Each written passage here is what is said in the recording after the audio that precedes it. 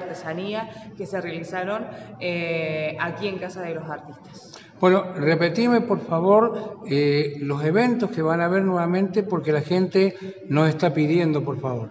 Bien, arrancamos obviamente el día martes con yoga a partir de las 15 horas, ensayo de academias. El día miércoles tenemos lo que es el cierre, ya entrega de certificados de arte y artesanía, un taller de arte y artesanía por parte de la gente de desarrollo también que se va, se va a estar brindando el día miércoles. El cierre también de los talleres de clases de inglés que se brindaron aquí en Casa de los Artistas.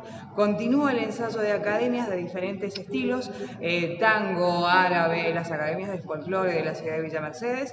24, 25 y 26 es muy importante porque viene nuevamente Somos Eco eh, con su punto de reciclaje donde ya van a estar haciendo también el último pesaje del año de reciclaje. El próximo sábado 27 eh, la Academia Razas de mi Pueblo va a realizar lo que es un encuentro de academias, un encuentro de folclore aquí en Casa de los Artistas y además también el día 28 de noviembre Callecita Angosta. Bueno, muy importante toda la agenda cultural de parte de lo que es eventos culturales aquí en la ciudad de Villa Mercedes.